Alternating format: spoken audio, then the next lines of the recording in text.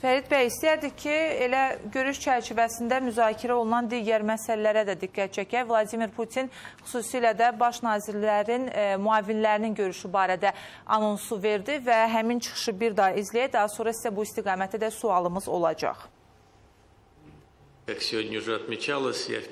Avrasiya İqtisadi Birliyinin samitində ilk dəfədir iştirak edirəm. Baxmayaraq ki, biz artıq həmkarlarla fikir mübadiləsi aparmışıq. Həm müstəqil dövlətlər birliyinin, həm də digər beynəlxalq təşkilatların platformalarında və əlbəttə ikitərəfli formatda müntəzəm işləyirik. Heydər Əliyevin xatirəsinə göstərilən yüksək hörmətə görə təşəkkür etmək istərdim. Biz bunu yüksək dəyərləndiririk.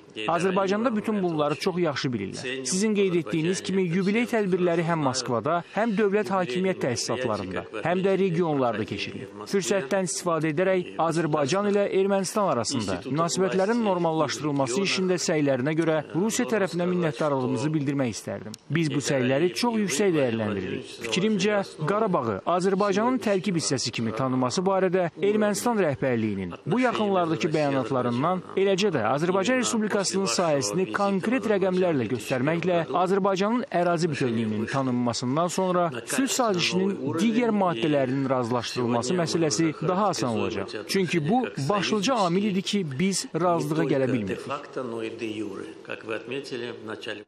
Fərid bəy, xüsusilə də Brüsseldə bəzi məsələlər müzakirəyə çıxarıldı və Vaşinqtonda da ondan öncə Xarici İşlər Nazirləri səviyyəsində müzakirə olmuşdu və iki bənd üzrə razılığa gəldik, deyirdi Arrat Mirzayan.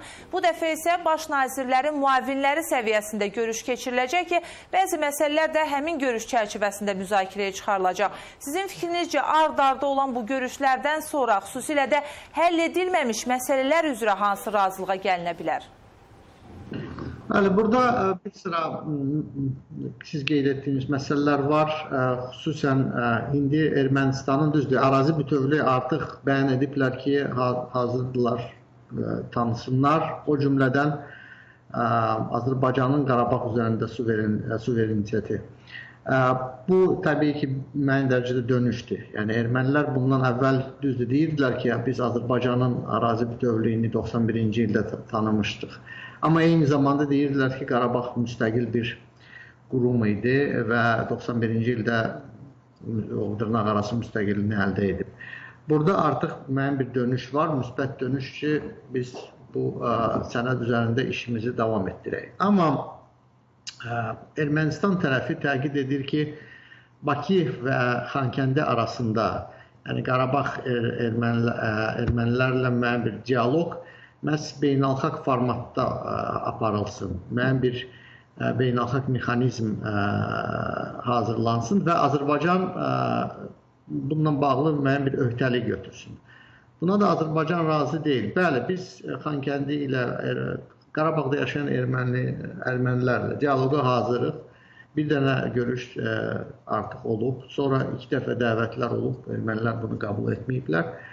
Və ə, belə deyək, amma hər hansı bir çərçivə yaratmaq, ə, hüquqi deyək çərçivə yaratmaq. Buna Azərbaycan getməyəcək. Bu dialoq Azərbaycan konstitusiyası çərçivəsində aparılacaq.